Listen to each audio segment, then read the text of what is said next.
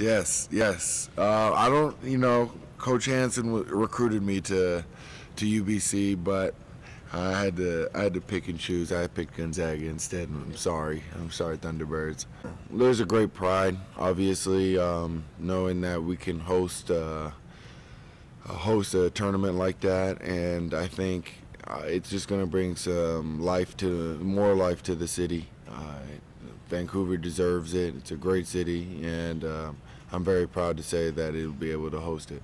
Coach Hanson was somewhat aggressive, but he already knew I was going stateside, so he just kind of left it alone. He knew I was I had a spot there no matter what, but he kind of just let me go stateside. Definitely don't know how I would do that, incorporate that in, in such a short period of time, but I, I, I think I could figure something out. I'm trying to push. There needs to be another NBA team in Vancouver desperately. Um, I think that's what made uh, myself look up to going into the NBA and set goals to be in the NBA, and I think probably Kelly Olynyk.